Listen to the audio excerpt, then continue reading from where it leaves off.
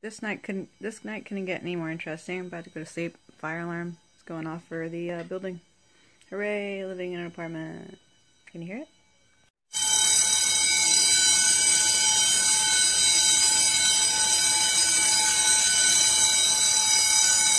So I'm a little miserable because I'm tired and want to go to sleep. So just putting my warm ass hoodie on and being miserable. I mean, I guess I could take off my makeup, but why? A clear shot, um, but some fire trucks finally pulled up. Looks like they sent a fireman. Uh, just turn off the alarm. Uh, some lady's already yelling at them. Yes, yes. Clearly yelling at someone who's trying to do their job will make them do it faster. Yes, that's so logical. They finally turned off the alarm.